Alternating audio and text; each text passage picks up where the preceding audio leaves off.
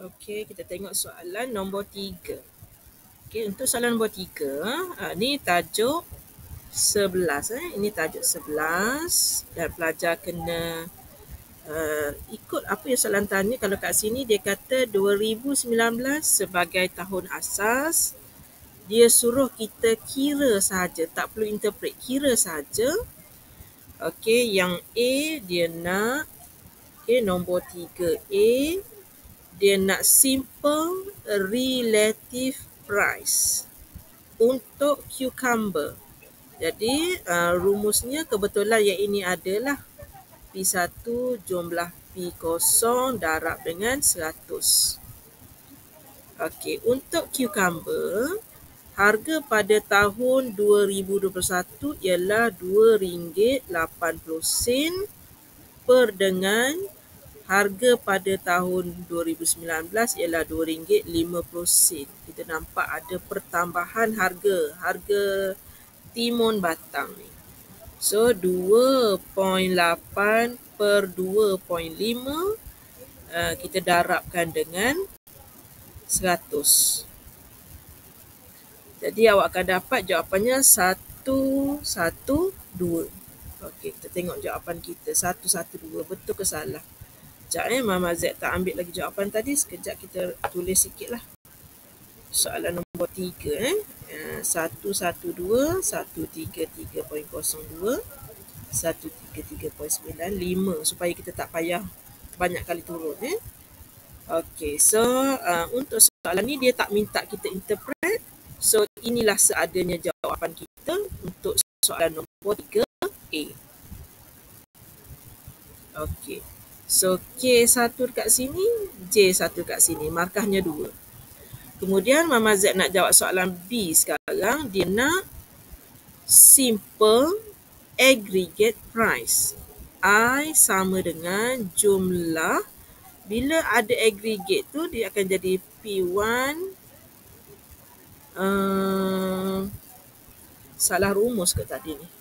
Okay, betulkan rumus Mama Z eh? Ha, rumus ni P1 yang ini dengan P yang tak ada jumlah. Ha, kalau aggregate baru ada jumlah. Ha, baru perasan. Minta maaf ya. Ha, sebab yang ini khas untuk cucumber saja. Jadi harga baru cucumber dengan harga uh, 2019. Okey, untuk yang ini sebab ada perkataan agregat, kita kena tambah. Okey, darab dengan 100.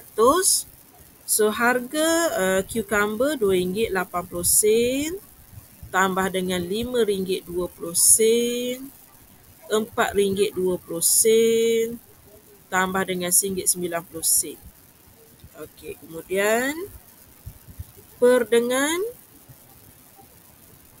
Okey, yang kedua pula harga yang seterusnya ialah RM2.50 tambah dengan RM3. Wow, banyak naik. Tambah dengan RM2.30 tambah dengan RM2.80 jarak dengan 100. Okey, jadi uh, kita ada kalkulator. Harap yang ini uh, Mama Z tak buat careless mistake lah. Okey, yang atas 2.8 tambah 5.2 tambah 4.2 tambah 1.9 tu yang atas. Yang bawah 2.5 tambah 3 tambah 2.3 tambah 2.8 darab 100. So Mama Z dapat 133.0. Ha, sekejap eh. 133 point. Ha, kalau pelajar nak buat 2 decimal places, dia akan jadi 0, 2. Ha, ni siapa yang nak buat 2 decimal?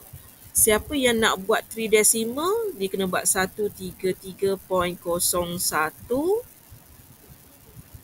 019.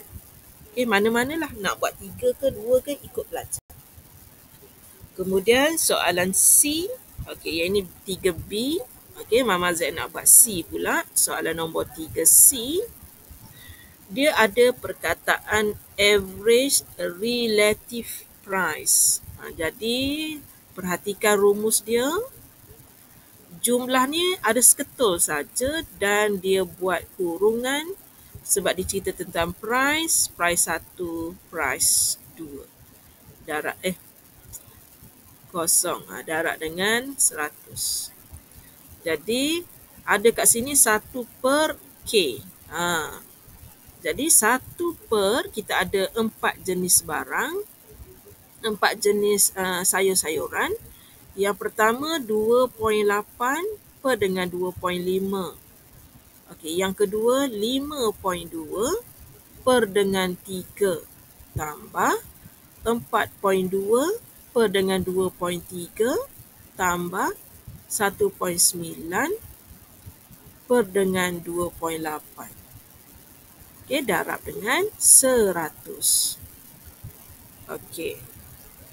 So kita tengok jawapan pada kalkulator kita adakah sama dengan cadangan jawapan. 1 per 4 Okey, yang pertama 2.8 per dengan 2.5 tambah 5.2 per dengan 3 tambah 4.2 per 2.3 Okey, tambah 1.9 per dengan 2.8 Okey, darab dengan 100. Harap-harap tepatlah cara Mama Z tekan tu. So, Mama Z dapat 133.95. Okey, kalau Mama Z bunda jadi 95. Okey, 133.95. Okey, so Mama Z decide yang Mama Z nak buat dua desimal pun betul dah tak ada masalah. Okey, ah, boleh. Kalau Mama Z buat tiga pun dapat ini juga. Kalau buat dua pun dapat ini juga. Okay. Ha, itu dia soalan nombor tiga.